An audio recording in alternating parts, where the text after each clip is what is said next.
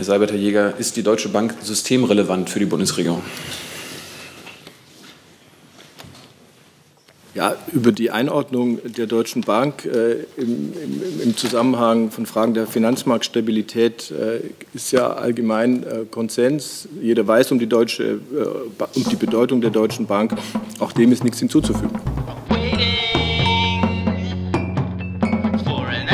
So, guten Tag, liebe Kolleginnen und liebe Kollegen. Herzlich willkommen in der Bundespressekonferenz zur Regierungspressekonferenz an diesem Mittwoch. Wir begrüßen zunächst zwei Gästegruppen, 30 Journalistinnen und Journalisten der RTL-Journalistenschule aus Köln, die sich auf einer Exkursion nach Berlin befinden, und zwölf Journalistinnen und äh, Journalistinnen aus Tunesien, die auf Einladung der Friedrich-Naumann-Stiftung in Deutschland sind und sich in besonderer Weise mit dem Thema Selbstorganisation von Journalisten beschäftigen. Und da hat sie der Weg in die Bundespressekonferenz geführt. Herzlich willkommen. Dann, bevor ich das Wort äh, Herrn Seibert gebe zum Bericht aus, dem, äh, aus der Kabinettssitzung, ähm, haben wir uns von Herrn Jäger zu verabschieden, der heute zum letzten Mal hier in der Bundespressekonferenz ist. Die eine oder der andere hat es gelesen, dass er neue Aufgaben übernimmt. Welche er übernimmt? Herr Jäger. Auf Wiedersehen. ja, das ging ja schnell. Ja, halt, noch zwei, drei Worte zu sagen. Ich bin gekommen, mich heute zu verabschieden. Ja, es stimmt. Äh, Ende dieser Woche ist over und dann ab nächste Woche werde ich neue Aufgaben in Stuttgart übernehmen. Ich möchte mich einfach nur bedanken für die gute und wirklich immer professionelle Zusammenarbeit an der einen oder anderen Stelle ist es auch etwas sportlich zugegangen, äh, aber dabei immer fair. Deshalb auch nochmal ein besonderes Dankeschön an die griechischen Kollegen. Ähm, ich möchte zum Schluss Ihnen sagen, mir hat es viel Spaß gemacht. Wir hatten einen guten Austausch und wer immer von Ihnen in Zukunft äh, in Richtung Süden sich auf den Weg macht, ist herzlich willkommen auf einen Kaffee oder auf ein Gespräch, dann dort im Innenministerium in Stuttgart. Vielen Dank. Herr Jäger, vielen Dank. Wir wünschen Ihnen alles Gute bei Ihren neuen Aufgaben, spannende Zeiten in Stuttgart und manchmal führen die Wege ja auch von Süden Richtung Nordosten wieder. Vielleicht sehen wir uns auch an dieser Stelle wieder. Alles Gute. Dann machen wir weiter mit dem Bericht aus dem Kabinett. Ich sehe, es gibt Fragen, aber wir machen jetzt erstmal die, die, ähm, die Rituale des Mittwochs und dann kommen wir zu den Fragen. Ja, bevor ich zu dem Kabinettsbericht komme, möchte ich allerdings gerne noch auf etwas anderes eingehen. Heute früh erreichte uns alle ja die Nachricht vom Tode Shimon Peres, des früheren israelischen Ministerpräsidenten, Staatspräsidenten, des Friedensnobelpreisträgers. Die Bundeskanzlerin blickt in großer Dankbarkeit auf viele Jahre der Begegnungen und Gespräche mit Shimon Peres zurück. Es waren Begegnungen mit einem großen Mann, mit einem Mann des Ausgleichs und nicht zuletzt mit einem Freund Deutschlands. Die Bundeskanzlerin trauert daher heute mit dem israelischen Volk um Shimon Peres. Äh, in einem Kondolenztelegramm an Ministerpräsident Netanyahu spricht sie auch im Namen der Menschen in Deutschland ihr tief empfundenes Beileid aus. Ich darf vielleicht einiges daraus zitieren. Die Bundeskanzlerin schreibt, in all seinen Ämtern setzte sich Shimon Peres mit seiner ganzen Kraft für die Sicherheit, die Freiheit und die Entwicklung des Staates Israel ein. Unermüdlich arbeitete er allen Widrigkeiten zum Trotz für einen Ausgleich mit der arabischen Welt. Er war zutiefst davon überzeugt, dass Israelis und Palästinenser friedlich nebeneinander leben können. Seine Vision für einen tragfähigen Frieden im Nahen Osten trug maßgeblich zum Friedensschluss von Oslo bei, wofür Peres zusammen mit Yitzhak Rabin und Yasser Arafat 1994 mit dem Friedensnobelpreis ausgezeichnet wurde. Die Verwirklichung seines Traumes zu erleben, ist ihm und uns bis heute versagt geblieben, weiter dafür zu arbeiten, das, schreibt die Bundeskanzlerin, ist sein Vermächtnis und unsere Verpflichtung. So viel zu diesem Thema. Danke, Herr Seibert. Und dann würde ich sagen, gehen wir ins Kabinett über. Okay. Das äh, erste Thema im Kabinett, äh, vorgestellt vom Bundeswirtschaftsminister, ein Gesetz zur Änderung des Gesetzes gegen Wettbewerbsbeschränkungen Die Bundesregierung will das Wettbewerbsrecht zeitgemäß gestalten. Sie will vor allem auch äh, ökonomische Besonderheiten äh, der zunehmenden Digitalisierung der Märkte berücksichtigen und einige Rechtslücken schließen. Deswegen eben dieses Gesetz, diesen Gesetzentwurf für ein neuntes Gesetz zur Änderung des Gesetzes gegen Wettbewerbsbeschränkungen. Der Entwurf stellt klar, dass ein Markt im Sinne des Wettbewerbsrechts auch dann vorliegen kann, wenn zwischen den unmittelbar Beteiligten kein Geld fließt. Der Entwurf enthält zudem einen Katalog neuer Kriterien, anhand derer die Marktstellung von Unternehmen besser beurteilt werden kann, also von Unternehmen, die auf mehrseitigen Märkten oder auch in Netzwerken agieren. Ebenso der Bundeswirtschaftsminister, der ja auch Energieminister ist, hat äh, den Bericht nach Paragraph 3 des Energieleitungsausbaugesetzes vorgelegt. Das äh, Bundeskabinett hat diesen Bericht beschlossen. Das Energieleitungsausbaugesetz für Fachleute ENLAG gibt es seit 2009. Es ist damals beschlossen worden, um den Ausbau der Höchstspannungsnetze, der großen Stromtrassen zu beschleunigen. Und das ist notwendig, damit das Stromnetz dem ständig wachsenden Anteil erneuerbarer Energien und den längeren Transportstrecken gerecht werden kann. Das NLAG legt fest, welche Bauvorhaben besonders wichtig sind und es strafft die Planungs- und die Genehmigungsverfahren. Inhalt des Berichts ist also in erster Linie der aktuelle Stand des Stromnetzausbaus für diese besonders wichtigen Vorhaben. Knapp gefasst sieht das so aus, es gibt 22 NLAG-Vorhaben mit einer Leitungslänge von insgesamt etwa 1800 Kilometern. Davon waren bis Mitte dieses Jahres, konkret 30. Juni 2016, knapp die Hälfte genehmigt und über ein Drittel realisiert. Bis Ende 2017 rechnen die Übertragungsnetzbetreiber damit, dass rund 45 Prozent dieser Projekte fertiggestellt worden sind. Das ist im Übrigen ein Bericht, den es bisher alle drei und künftig alle zwei Jahre im Bundeskabinett geben wird. Und zuletzt Entwurf eines Regierungsprogramms Wasserstoff- und Brennstoffzellentechnologie. Das ist ein Regierungsprogramm, das von 2016 bis 2026 laufen soll. Teil der Innovationsstrategie der Bundesregierung, Baustein eines nachhaltigen Energiesystems, das auch gut ist für den Klimaschutz. Wasserstoff- und Brennstoffzelle, das sind Schlüsseltechnologien, wenn wir das Energiesystem umgestalten wollen. Wasserstoff aus erneuerbaren Energien kann als Kraftstoff für Fahrzeuge dienen. Und äh, mit Brennstoffzellen können Fahrzeuge und Heizungen zum Beispiel effizient und emissionsarm arbeiten. Schon seit zehn Jahren fördert die Bundesregierung diese Technologien ähm, mit dem Nationalen Innovationsprogramm. Und auch dank dieser Förderung sind in den letzten zehn Jahren eben diese Technologien alltagstauglich geworden und erste kommerzielle Brennstoffzellenprodukte am Markt auch verfügbar. Im Ergebnis dieser ersten zehn Jahre haben wir nun eine moderne Industriebranche in Deutschland mit rund 500 Unternehmen und Organisationen. Dadurch wird Deutschland natürlich auch attraktiv für Investoren in diese Branche hinein aus dem Ausland. Und das trägt äh, in diesem Bereich zur Wertschöpfung bei uns im Lande bei. Und aufgrund dieses Erfolgs setzt die Bundesregierung mit dem neuen Programm, das wie gesagt bis 2026 laufen wird, die Förderung über weitere zehn Jahre fort. Ziel ist nun, von der Technologiereife zur Marktfähigkeit zu kommen. Zum Schluss, wie immer, das äh, Kabinettsthema Flucht und Migration. Heute ging es im Wesentlichen um äh, den Bericht, den die Arbeits- und Sozialministerin und der Innenminister vorgelegt haben über den aktuellen Stand bei Integrationskursen und der sogenannten berufsbezogenen Deutschsprachförderung. Da kann eine positive Zwischenbilanz gezogen werden. Bis Mitte September haben nahezu 200.000 Personen einen Integrationskurs begonnen in diesem Jahr 2016. Und das ist schon bis Mitte September mehr als im ganzen Jahr 2015, als die Zahl bei etwa 180.000 lag. Mit dem Integrationsgesetz und anderen Maßnahmen hat die Bundesregierung in den letzten Monaten zahlreiche Maßnahmen ergriffen, um die Teilnehmerzahlen weiter zu erhöhen. Wichtig ist vor allem die Erhöhung der Mindestvergütung für die Lehrkräfte auf, äh, um 12 auf 35 Euro pro Unterrichtseinheit. Das ist sehr wichtig, um auf einem schwierigen Markt Lehrkräfte zu finden und zu rekrutieren auch die, und natürlich auch die Qualität des Unterrichts zu sichern. Auch die Erhöhung des Kostenerstattungssatzes für Kursträger mit Wirkung zum 1. Juli hat zu einem deutlichen Anstieg der Zahl der qualifizierten Lehrkräfte geführt. Die liegt jetzt bei etwa 15.000.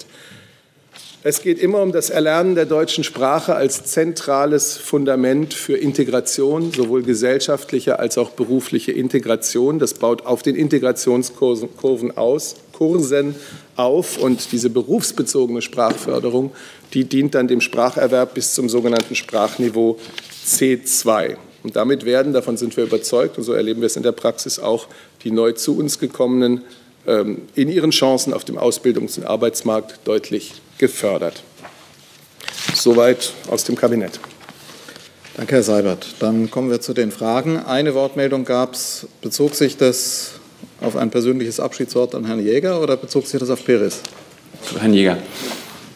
Herr Jäger, Bitte. Sie sollen ja ab sofort in Baden-Württemberg für Abschiebung von Afghanen nach Afghan, äh, Afghanistan zuständig sein. Vorher waren Sie ja schon Botschafter in Afghanistan für Deutschland. Äh, hilft Ihnen die einstige Tätigkeit jetzt bei der Abschiebung von Afghanen nach Afghanistan? Mensch, Herr Jung, das wäre jetzt wirklich schade gewesen, wenn wir eine letzte PK gehabt hätten ohne eine Frage von Ihnen. Das, wonach Sie fragen, bezieht sich allerdings äh, auf meine künftige Tätigkeit. Sie haben zwar insofern recht, äh, dass ich mal Botschafter in Afghanistan war, kann ich mich auch noch daran erinnern. Es war eine sehr gute Zeit. Ähm, was die Aufgaben in Stuttgart angeht, äh, die ich dann ab kommenden Dienstag wahrnehme, dazu gibt es Mitteilungen des dortigen Innenministeriums. Und äh, ich muss Ihnen jetzt, weil ich spreche ja hier fürs Bundesfinanzministerium und wir haben ja mit Abschiebungen bekanntlich gar nichts zu tun, äh, kann ich Ihnen nur einfach den, den freundschaftlichen Hinweis oder Tipp geben. Es gibt in Stuttgart eine Landespressekonferenz. Die sind ja sicher auch offen für Innovation und Besucher von außerhalb. Kommen Sie einfach mal dahin. Und dann diskutieren wir diese Themen mit großer Freude dort. Diese Einladung wird der eine oder andere gerne annehmen. Dann kommen wir zu den anderen Themen. Ähm, zum Tod von Shimon Peres. Gibt es dazu Fragen? Herr Jung? Herr, Herr Gauck wird äh, zur Beerdigung fahren, wird auch, werden auch Mitglieder der Bundesregierung vor Ort sein. Das stimmt. Deutschland wird bei der Trauerfeier in Jerusalem am Freitag durch den Bundespräsidenten, also das Staatsoberhaupt, vertreten sein. Die Bundeskanzlerin, soweit kann ich Ihnen sagen, ähm, wird nicht reisen. Warum? Deutschland ist durch das Staatsoberhaupt vertreten. Weitere Fragen zum Tod von Shimon Peres? Dann gehen wir die Kabinettsthemen durch und haben zunächst gehabt das Wettbewerbsrecht. Keine Fragen dazu. Energieleitungen. Ausbau der Energie, des Energieleitungsnetzes. Keine Fragen dazu. Brennstoffzellen. Dann Thema Integrationskurse. Auch dazu keine Fragen. Dann ist das zweite Feld geöffnet. Herr Lautenbach fängt an. Dann Frau Konrad. Eine Frage an Herrn Jäger, ähm, vielleicht Ihr letztes Dementi hier. Äh, was sagen Sie denn zu den behaupteten Rettungsplänen für die Deutsche Bank durch Seiten der Bundesregierung? Moment, Entschuldigung. Jetzt ist es offen. Also Ihre Ahnung trügt Sie nicht. Äh, ich habe diese Presseberichterstattung heute Morgen auch gelesen. Ähm, sie ist nicht zutreffend. Diese Berichterstattung ist falsch. Die Bundesregierung bereitet keine Rettungspläne für die Deutsche Bank vor und es gibt auch keinen Anlass für derartige Spekulationen. Und äh, ich darf noch mal daran erinnern, dass die Deutsche Bank dies selbst auch ausdrücklich klargestellt hat. Zum Thema Deutsche Bank zwei Fragen von Thibaut Madeleine und von Herrn Jung.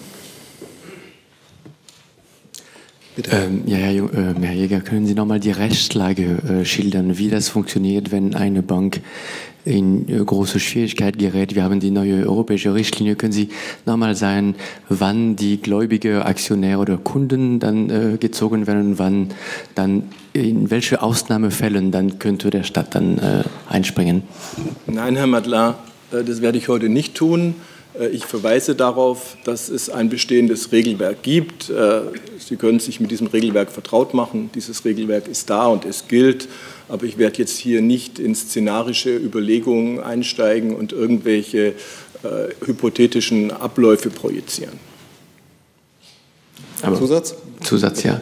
Ähm, für die Laie vielleicht nur. Ähm, grob, wie läuft ja, das Regelwerk? Ja, die Laien würde ich dann in dem Zusammenhang auf die Website des Bundesfinanzministeriums verweisen. Da ist es so erklärt, dass äh, auch äh, nicht äh, spezialisierte Journalisten es dort nachlesen und sogar verstehen können. Herr Jung. Herr Seibert, Herr Jäger, ist die Deutsche Bank systemrelevant für die Bundesregierung? Ja, über die Einordnung der Deutschen Bank äh, im, im, im, Zusammenhang von Fragen der Finanzmarktstabilität äh, ist ja allgemein äh, Konsens. Jeder weiß um die, deutsche, äh, um die Bedeutung der Deutschen Bank. Auch dem ist nichts hinzuzufügen. Zusatz, bitte. Das war nicht die Frage. Ja, aber das war die Antwort. Herr Seibert, ist die Deutsche Bank systemrelevant für die Bundeskanzlerin? Ich habe der Antwort nichts hinzuzufügen, die gerade Herr Jäger fürs Bundesfinanzministerium gegeben hat. Weitere Fragen zum Thema Deutsche Bank? Dann noch eine Frage von Herrn Jung und Herr Jorens. Herr Jäger, welche Teile der Deutschen Bank, sollte die Deutsche Bank aufgespalten werden, müssen in Deutschland verbleiben? Herr Jung, diskutieren Sie solche Fragen mit dem Sprecher der Deutschen Bank in Frankfurt. Herr Jordans. Moment, Jetzt haben wir es. Herr Jäger, äh, noch sind Sie ja Sprecher des Bundesfinanzministeriums. Äh, deshalb bin ich etwas verwundert, dass Sie uns auf die Webseite verweisen, ohne ähm, für das Bundesfinanzministerium einfach mal darzulegen, was die Umstände sind, unter denen die Bundesregierung bereit ist oder in der Lage ist, ähm, bei einer Bankenrettung einzuspringen. Äh, können Sie das nicht oder wollen Sie das nicht? Es tut mir leid, wenn Sie verwundert sind, aber ich wiederhole noch mal, was ich auf die erste Frage zu dem Thema gesagt habe. Ich werde jetzt hier nicht in szenarische Überlegungen hypothetischer Abläufe einsteigen. Herr Jung. Ans Wirtschaftsministerium aus wirtschaftlicher Sicht ist die Deutsche Bank systemrelevant. Ich glaube, das wurde gerade durch Herrn Jäger erörtert. Ich habe dem nichts hinzuzufügen. Jetzt gehen wir nicht alle Ministerien durch. Herr Madeleine. Ja, Herr Jäger, nochmal. Ähm, ich glaube, der äh, Chef der Bundesverband der Deutschen Banken hat heute äh, die Geldpolitik der EZB dafür verantwortlich gemacht, dass die äh, deutsche Banken etwas schwach sind. Ist das auch Ihre Meinung? Auch diese Frage bitte ich Sie, mit denen zu diskutieren, die sich einerseits zu Wort gemeldet haben, sprich mit dem genannten Verbandsvertreter oder wenn Sie es vertiefen wollen, würde ich Ihnen empfehlen, gehen Sie auf die Kollegen in Frankfurt bei der EZB zu, die dazu sicher sprechfähig und auskunftsbereit sind. Nochmal zur Deutschen Bank. Bitte, Herr Jones. Ja, können Sie uns denn sagen, ob ähm, diese Woche im Bundesfinanzministerium irgendwelche ähm, Veranstaltungen, ähm, Gespräche speziell mit Bezug auf die Situation der Deutschen Bank stattfinden oder stattgefunden haben?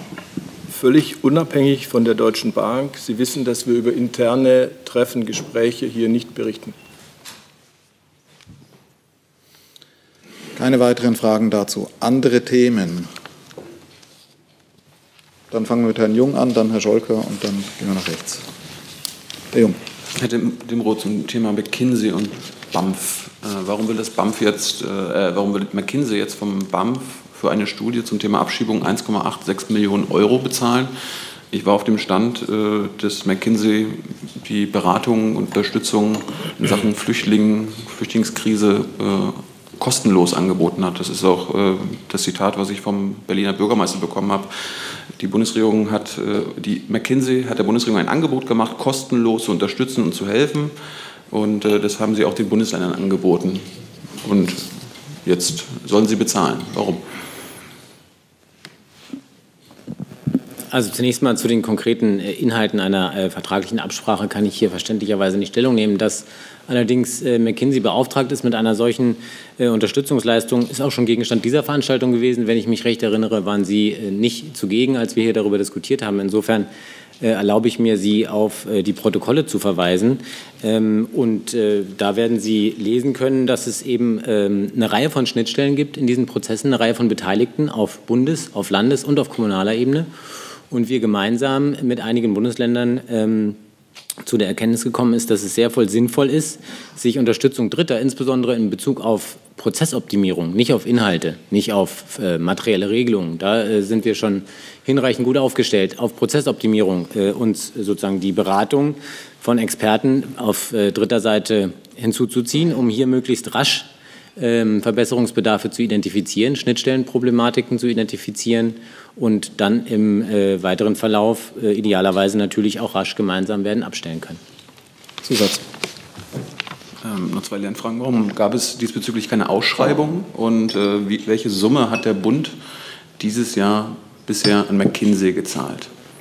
Also letztere Frage kann ich schon mal per se nicht beantworten, weil ich nicht für den Bund spreche. Insofern ähm, verbietet sich da eine Antwort, Können Sie Antwort das für von mir. BAMF beantworten? Ähm, das BAMF kann auch nicht beantworten, was der Bund in diesem Jahr für McKinsey ausgegeben hat. Das, Können Sie sagen, auch was das das- was erschließt das sich BAMF für nicht McKinsey dem ausgegeben hat? Zuständigkeitsbereich weder des Innenministeriums noch des BAMF.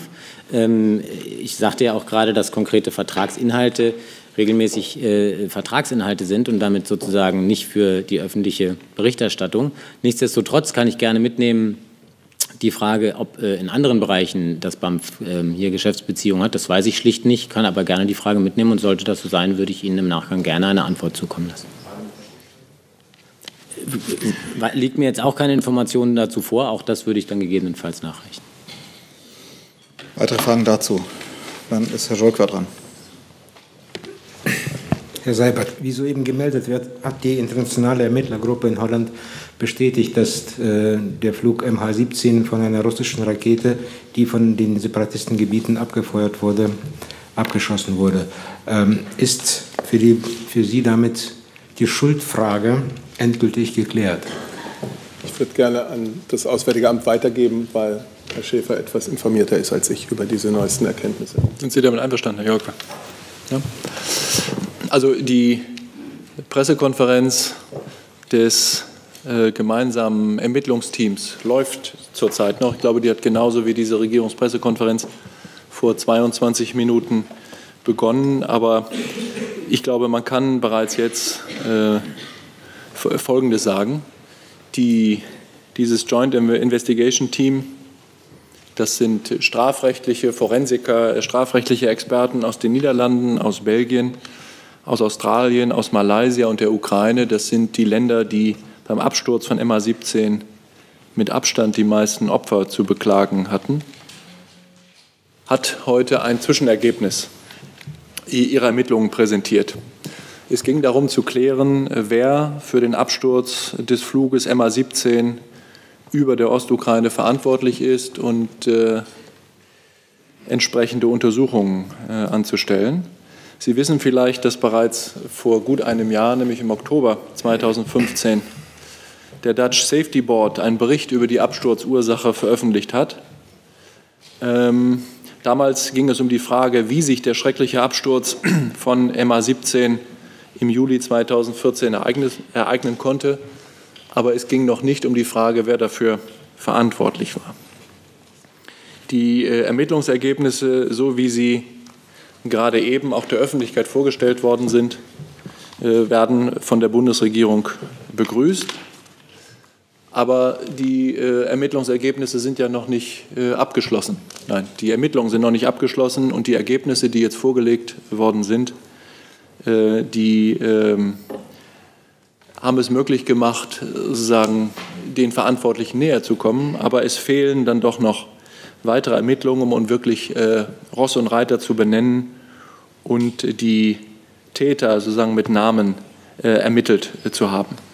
Wir sind weiter der Überzeugung, äh, dass ähm, diejenigen, die für dieses schreckliche Unglück verantwortlich sind, strafrechtlich zur Rechenschaft gezogen werden müssen und zwar entsprechend der Resolution des Sicherheitsrats der Vereinten Nationen 2166 aus dem Jahre 2014. Und wir werden weiter die laufenden internationalen Bemühungen um verbindliche und glaubwürdige Strafverfolgungsmaßnahmen unterstützen und rufen alle Staaten zur äh, Zusammenarbeit auf.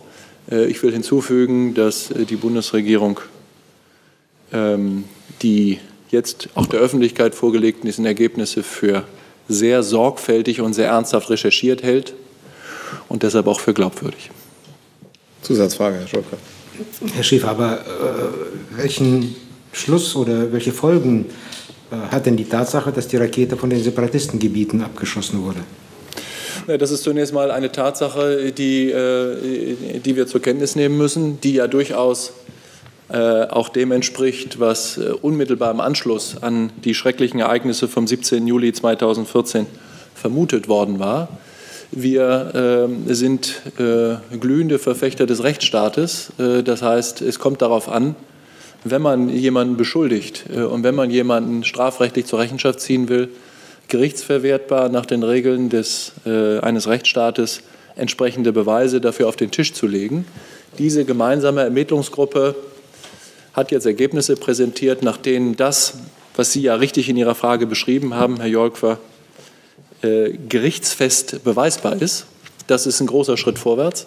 Und jetzt wird es darum gehen, konkret zu ermitteln, wer für diese Untat äh, strafrechtlich zur Rechenschaft gezogen werden kann. Soweit ich weiß, ist äh, die gemeinsame Ermittlungsgruppe zum jetzigen Zeitpunkt noch nicht in der Lage, konkrete Namen zu benennen und dann vielleicht auch äh, entsprechende Verfahren einzuleiten.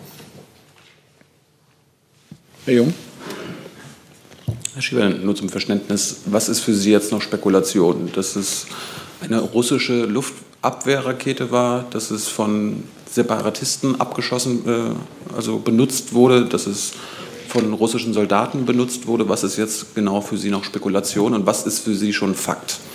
Na, wenn ich, äh, ich halte mich da an die äh, Ermittlungsergebnisse, die ja auch jetzt, während wir hier miteinander sprechen, der Öffentlichkeit vorgestellt werden. Danach ist es so, ich kann das nur sozusagen in indirekter Rede wiedergeben, weil es ja nicht Ermittlungsergebnisse der Bundesregierung sind, ist es in der Tat so, dass ähm, der Abschuss erfolgte durch eine Luftabwehrrakete russischer Bauart und der Abschuss erfolgte aus einem Gebiet, das ähm, zum Zeitpunkt des Abschusses de facto in der Hand von Separatisten war. Das ist das, was ermittelt worden ist. Äh, das ist das, was aus Sicht des Ermittlungsteams gerichtsfest beweisbar ist. Nicht mehr und nicht weniger. Zusatz. Das heißt, wenn Sie anerkennen, dass es eine russische Luftwehrabwehrrakete ist und dass es im Separatistengebiet abgefeuert wurde, Sie möchten trotzdem nicht eins und eins zusammenzählen. Ich glaube, ich habe äh, gerade eben in, dem, in, der, in, in der Antwort äh, der länglichen auf die Frage von Herrn Jolkwer darauf hingewiesen, dass es uns darauf ankommt, nach den Regeln des Rechtsstaats vorzugehen und nicht einfach bloße Behauptungen in den Raum zu stellen, sondern uns daran zu halten, was beweisbar ist. Dafür gibt es diese gemeinsame Ermittlungsgruppe, deren Arbeit wir von Anfang an äh, unterstützt haben. Und äh, diese äh, Arbeitsgruppe, diese Ermittlungsgruppe wird ihre Arbeit nun fortsetzen. Und ich äh, gehe davon aus und hoffe, dass sie bei ihrer schwierigen Arbeit weiter vorankommen wird, um dann die Fragen, die Sie und andere in den Raum gestellt haben, dann auch noch zu beantworten. Dass wir uns diese Fragen auch stellen, können Sie sich denken. Aber ich glaube, es macht hier keinen Sinn, Spekulationen in den Raum zu werfen, sondern wir halten uns an Fakten und Beweise. Herr Jordans. Und dann Herr Schocke. Äh, Herr Schäfer, ohne ähm, dass ich Sie bitte zu spekulieren, ähm, glauben Sie, dass diese Ermittlungsergebnisse irgendwelche Auswirkungen auf den Friedensprozess äh, haben könnten, bei dem ja die Bundesregierung ähm, stark engagiert ist? Ja, ich glaube, was ich glaube, spielt jetzt äh, keine Rolle. Ich gehe davon aus, dass äh, die laufenden Ermittlungen äh, keine Rolle und keinen Einfluss haben werden auf die Bemühungen, äh, die Minsker Vereinbarung im Normandie-Format oder auf andere Art und Weise umzusetzen. Äh, ich gehe davon aus, dass alle Beteiligten, wirklich alle Beteiligten ein Interesse an einer objektiven Aufklärung haben und sich daran, äh, daran in angemessener Weise beteiligen. Herr Scholker. Eine ähnliche Frage. Wird der Minister dieses Thema innerhalb der Viererrunde ansprechen?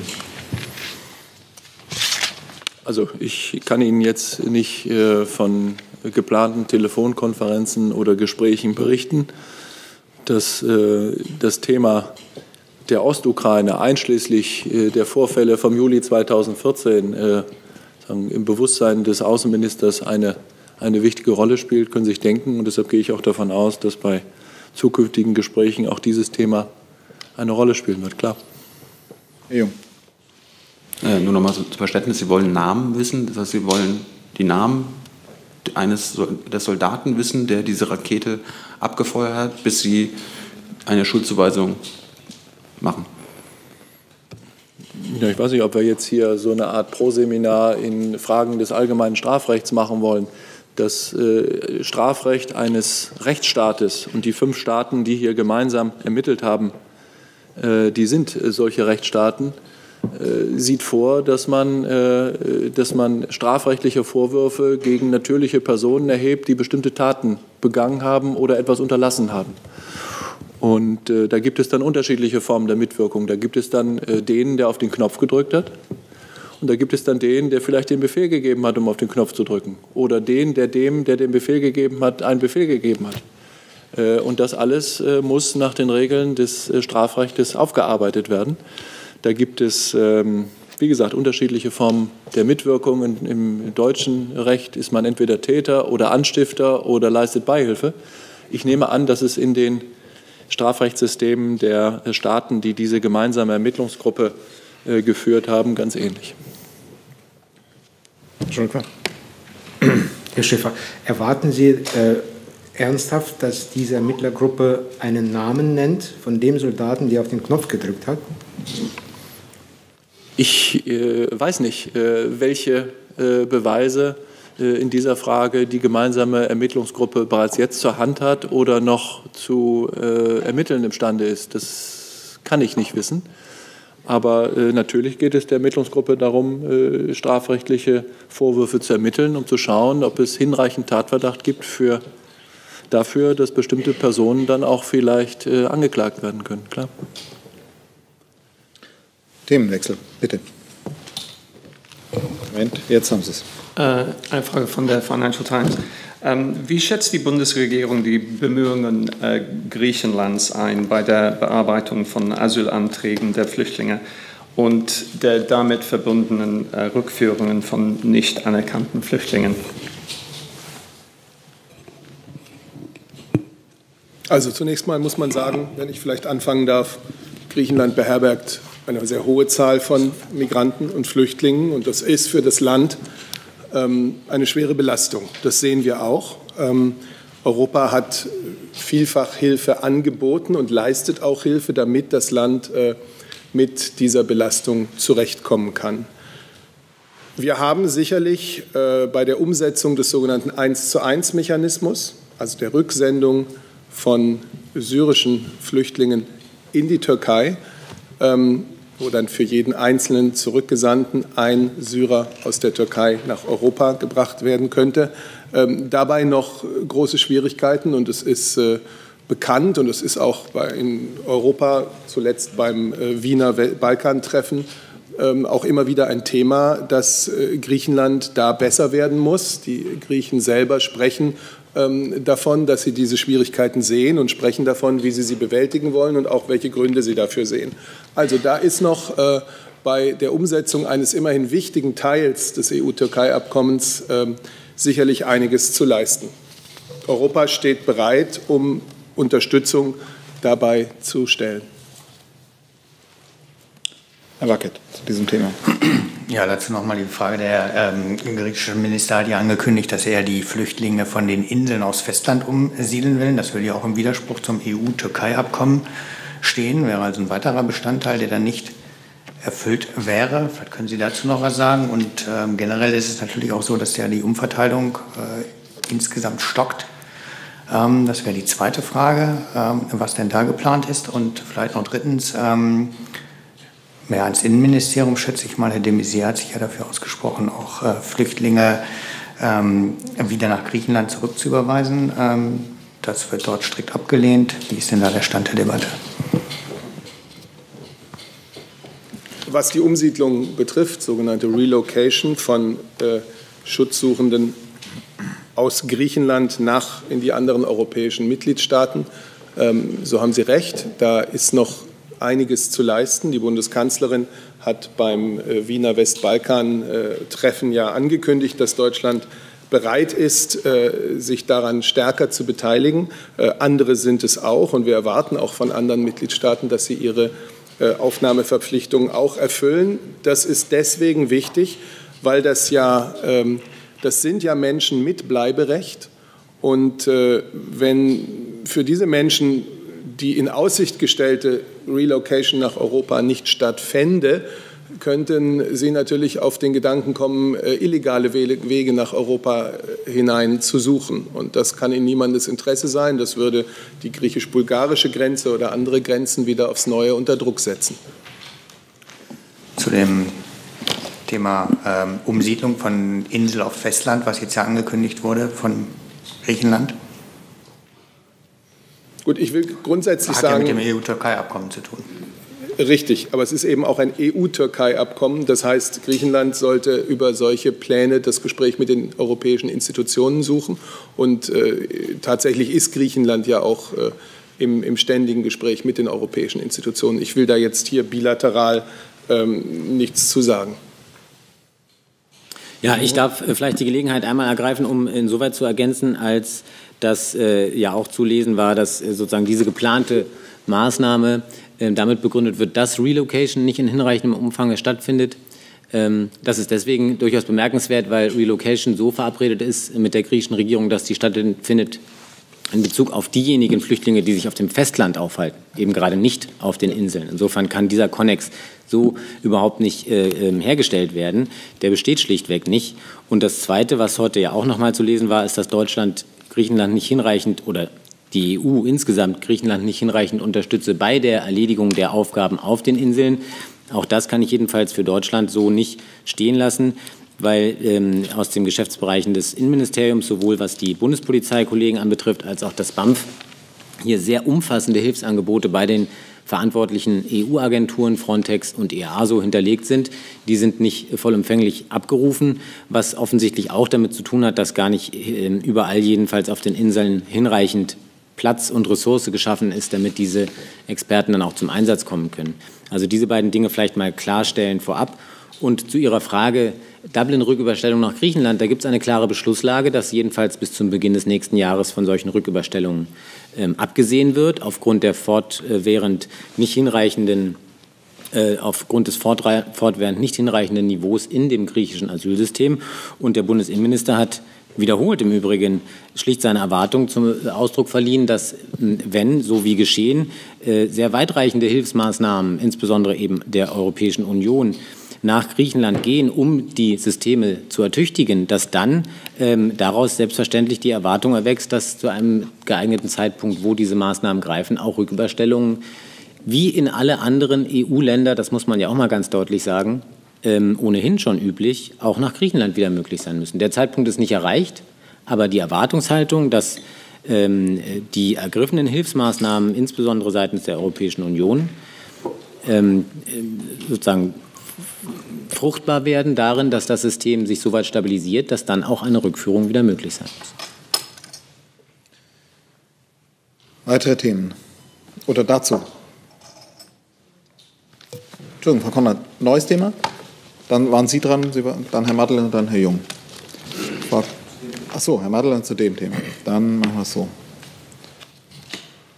Ähm, Herr Demoth, können Sie noch äh, vielleicht sagen, wie viele Experten oder äh, Bundespolizisten vor Ort sind und wie viele angeboten wurden?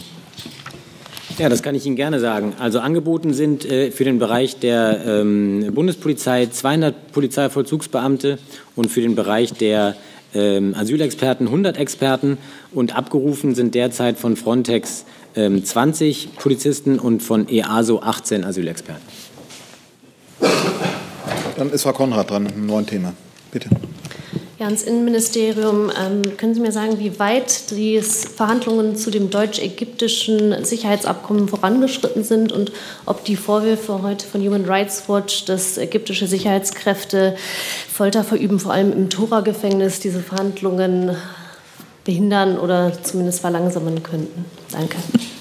Ja, vielen Dank für die Frage. Also ganz allgemein kann ich Ihnen versichern, dass selbstverständlich ähm, ähm, Dinge wie von Ihnen angesprochen und heute offensichtlich auch öffentlich kritisiert bei der Verhandlung solcher Abkommen immer auch eine Rolle spielen. Das ist gar keine Frage. Ich kann Ihnen leider mangels eigener Kenntnis heute keinen tagesaktuellen Zwischenstand über den äh, Verhandlungsprozess geben. Kann das entweder gerne nachreichen, wenn es den gibt, oder sonst können wir das gerne auch am kommenden Freitag noch mal aufnehmen. Ich bin schlichtweg nicht sozusagen tagesaktuell informiert, was den Verhandlungsstand anbetrifft.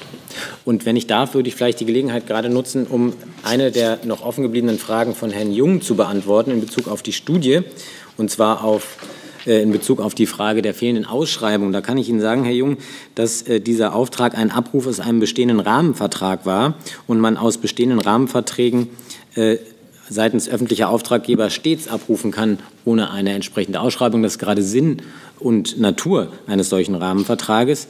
Und dieser Rahmenvertrag, wie gesagt, ähm, gibt hier einen hinreichenden Raum und wäre selbstverständlich seitens Dritter die meinen, dass der nicht ähm, ähm, sozusagen dem Buchstabe des Gesetzes folgt, angreifbar gewesen. Der ist nicht angegriffen worden und insofern eine valide Grundlage für diese Beauftragung.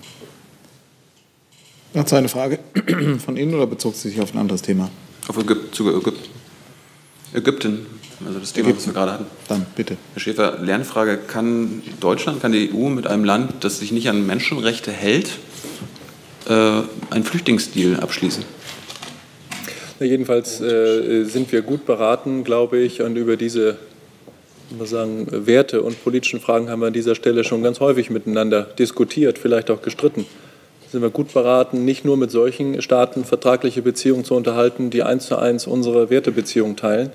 Denn dann würden wir vielleicht außerhalb der Europäischen Union noch mit Liechtenstein, äh, äh, vielleicht der Schweiz, äh, und den USA Verträge schließen. Äh, nein, die Welt ist leider kompliziert und wir haben es mit vielen Ländern zu tun, die in bestimmten Politikfeldern ähm, Gelegenheit bieten, gemeinsame Interessen auch vertraglich festzulegen und bei denen wir in anderen Politikfeldern äh, über Kreuz liegen. Und gerade in der arabischen oder muslimischen Welt gibt es viele solcher Länder.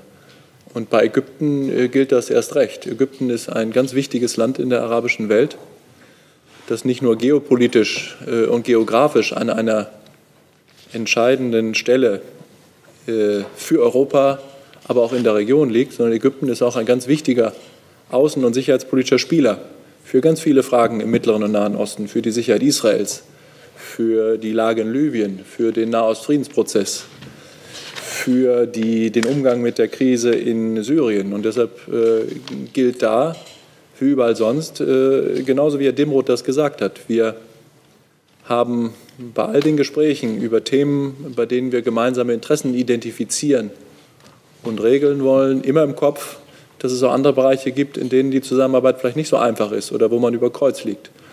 Und das gilt äh, im Hinblick auf die Menschenrechtslage in Ägypten äh, ganz sicher. Da liegen wir nicht auf einer Wellenlänge, ganz im Gegenteil. Äh, wir arbeiten mit Nachdruck daran, äh, mit unseren ägyptischen Gesprächspartnern immer wieder die Themen anzusprechen, wie die, die heute auch in den Medien berichtet worden sind. Aber das schließt nicht aus, dass wir in anderen Bereichen, zum Beispiel bei der Regelung von Flüchtlings- und Migrationsangelegenheiten mit Ägypten kooperieren. Und das gilt nicht nur für Deutschland, das gilt natürlich auch für die Europäische Union. Unterstreiche alles, was Herr Sch Entschuldigung, pardon. Darf ich? Nee, nee, ergänzen Sie. Unterstreiche alles, was Herr Schäfer gesagt hat und füge nur hinzu, bei solchen Abkommen, und bisher haben wir ja nur ein Abkommen EU-Türkei in Flüchtlingsfragen, geht es natürlich immer auch darum, äh, die Situation der Flüchtlinge in dem betreffenden Land zu verbessern. Das ist äh, sehr klar nachweisbar bei dem EU-Türkei-Abkommen und das wäre sicherlich auch ein Element aller weiterer Abkommen. Sonst wüsste ich gerne ähm, zunächst mal, ob es noch Fragen oder wie viele Fragen es noch zu anderen Themen gibt. Denn, äh, Herr Wackett, denn wenn Sie jetzt noch Fragen dazu haben, also dann, wenn es neue Fragen sind, denn die Frage, so wie Sie sie gerade gestellt haben, haben wir hier, glaube ich, mehrfach behandelt. Wenn Sie eine neue Frage haben, dann bitte. Also zu Ägypten darf ich nicht mehr. Nein, ich würde nur darum bitten, dass wir hier nicht die gleichen Fragen in einer repetitiven Form in verschiedenen Regierungspressekonferenzen stellen. Ja, Deshalb war meine Frage, ob es noch, wüsste ich gerne, wie viel Gesprächsbedarf wir sonst noch zu Themen haben, die hier noch nicht manchmal, behandelt manchmal muss man nicht Fragen in der gleichen stellen, Weise beantwortet sind. gibt. Stellen Sie Ihre Frage bitte, dann schauen wir, ob die schon beantwortet wurde. Bitte. Naja, Herr Schäfer tut ja so, als ob es jetzt um Waffenexporte geht. Es geht um Menschen und um? Abkommen mit. Ja? Ihre Frage? Zu Ägypten, ja. Bitte. Es geht ja um Menschen. Es, ist, es, geht, es geht um ein Abkommen mit Menschen. Und Sie sagen, naja, also äh, wir haben da unterschiedliche Meinungen und Menschenrechtsstandards werden da nicht eingehalten. Aber muss es in Sachen Flüchtlingsabkommen nicht auch um Menschenrechte gehen? Ähm, Ich weiß nicht, was Sie jetzt mir oder der Bundesregierung oder dem Auswärtigen Amt oder der Europäischen Union unterstellen wollen. Dass Flüchtlinge und Migranten Menschen sind, äh, haben Sie das Gefühl, dass das von dieser Regierungsbank von irgendjemandem in Abrede gestellt wird? Haben Sie wirklich? Ja, dann tut es mir leid. Äh, Die, äh, das Verhalten und die, die Aktivitäten der Bundesregierung in den letzten Jahren und Monaten beweisen aus meiner Sicht, sehr subjektiv, eigentlich das Gegenteil, äh, lieber Herr Jung. Und äh, zu Ihrer konkreten Frage, ja, auch in Ägypten geht es uns um Menschen. Wenn wir äh, uns mit Ägypten über die Lage der Menschenrechte streiten, geht es uns um Menschen, weil äh, Menschen, wenn Menschenrechte verletzt werden, werden Menschen verletzt. Und deshalb kümmern wir uns darum. Absolut, da haben Sie völlig recht. Und wenn es um äh, Vereinbarungen geht mit dem Ziel, die Lage der Flüchtlinge zu verbessern und äh, die Migration zu regeln, dann geht es auch um Menschen. Äh, Und dann wollen wir verhindern, äh, zum Beispiel, dass verzweifelte Menschen sich von Ägypten aus auf den Weg übers Mittelmeer machen, sich in die Hände von skrupellosen Schleusern begeben und dabei ums Leben kommen und absaufen. Da geht es uns um Menschen. Und wenn es so ist, wie Herr Seibert das sagt, dass wir das Ziel verfolgen in Ägypten und anderswo, die zum Teil erbärmliche Lage, in der Flüchtlinge und Migranten sich befinden. äh, Das beste Beispiel dafür scheint mir die Lage in Libyen zu sein, einem Staat, der ja nicht wirklich als ein Staat funktioniert. Dann geht es uns um Menschen. Absolut. Herr Seibert. Ja, ich, Herr Schäfer hat es gesagt. Ich hätte, um dem moralischen Impetus von Herrn Jung zu begegnen, schon auch noch mal betonen wollen, ähm, was ist denn die Situation äh, vor der Küste von Ägypten derzeit? Zuletzt haben wir gehört, dass ein von Schleppern mit äh, Flüchtlingen gefülltes Schiff untergegangen ist mit Hunderten von Toten. Das war im Übrigen auch die Situation in der Ägäis. Und diese Illegalität, dieses Verbrechen an Menschen zu beenden, das ist doch auch eine ganz klare Triebfeder, um solche Abkommen zu schließen, um diese Illegalität, dieses Verbrechen zu beenden, wie es im Übrigen durch das EU-Türkei-Abkommen auf der Ägäis weitestgehend gelungen ist. Und genau deswegen müssen wir das auch äh, mit anderen Nachbarn äh, im nordafrikanischen Raum äh, in Partnerschaft abschließen. Herr Wackett, Themenwechsel. Ja, ganz anderes Thema. Ne? Bitte. Äh, es geht um Herrn Sarkozy, den Präsidentschaftskandidaten, kann man ja sagen, der ähm, angekündigt hat, ähm, die Brexit-Debatte sozusagen noch einmal aufzurollen. Das heißt, Großbritannien noch einmal die Chance zu geben, in die EU zurückzukehren, ähm, auf Basis eines reformierten EU-Vertrages. Ich wollte mal hören, ob die Bundesregierung denkt, dass es in der Tat ein gangbarer Weg wäre. Herr Wackett, Sie kennen die Haltung hier oft dargelegt der Bundesregierung äh, zur äh, Frage Brexit, zur Frage, wie umgehen mit dem britischen Referendum. Äh, die hat sich nicht geändert, auch nicht durch Vorkommnisse und Erklärungen im französischen Wahlkampf, in den ich im Übrigen hier nicht eingreifen möchte. Weitere Fragen? Herr Jung. Ja, als Justizministerium zu Ihrer Hate Speech Task Force. Sie hatten ja jugendschutz.net äh, im August und September beauftragt, äh, testweise bei YouTube, Facebook und Twitter insgesamt 622 in Deutschland strafbare Inhalte zu melden. Äh, ein Kollege hatte schon bei der Pressekonferenz nach, äh, also nachgefragt, aber Sie haben bisher nicht darauf geantwortet. Wie viele der 622 strafbaren Inhalte haben Sie da, äh, sind da jetzt zu einer Anzeige geführt und wie viele Verurteilungen gab es? Müsste ich Ihnen auch, ich habe keine konkrete Zahl dabei. Also wir haben ja in der Pressekonferenz ist ja dargelegt worden, dass, die, ähm, dass es insgesamt die Löschquote viel zu äh, gering ist, bei den, ähm, wenn praktisch ähm, auch die entsprechende Institution nicht als solche aufgetreten ist, sondern ähm, sich als äh, praktisch wie ein privater User aufgetreten ist. Aber die genauen Zahlen, wie das, wie das, wie das jetzt in äh, Strafverfahren gemündet ist, würde ich versuchen, Ihnen nachzureichen. Weiß aber nicht, ob wir das tatsächlich leisten können, weil die ähm, Ermittlungsverfahren ja nicht bekanntermaßen nicht bei uns geführt werden. Gut, dann sehe ich keine weiteren Fragen. Danke Ihnen an der Stelle und wir beenden die Pressekonferenz. Danke. Guten Tag. I'm thinking